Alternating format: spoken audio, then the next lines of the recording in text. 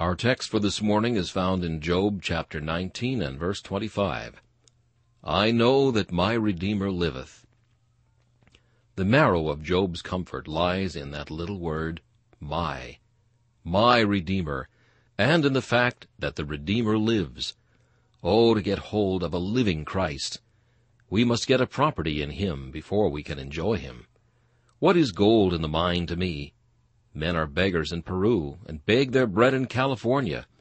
It is gold in my purse which will satisfy my necessities by purchasing the bread I need. So a Redeemer who does not redeem me, an avenger who will never stand up for my blood, of what avail were such? Rest not content, until by faith you can say, Yes, I cast myself upon my living Lord, and he is mine. It may be you hold him with a feeble hand, you half think it presumption to say, He lives as my Redeemer.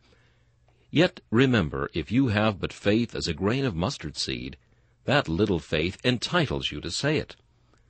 But there is also another word here, expressive of Job's strong confidence. I know. To say I hope so, I trust so, is comfortable, and there are thousands in the fold of Jesus who hardly ever get much further. But to reach the essence of consolation, you must say, I know. Ifs, buts, and perhapses are sure murderers of peace and comfort. Doubts are dreary things in times of sorrow. Like wasps, they sting the soul. If I have any suspicion that Christ is not mine, then there is vinegar mingled with the gall of death. But if I know that Jesus lives for me, then darkness is not dark, even the night is light about me.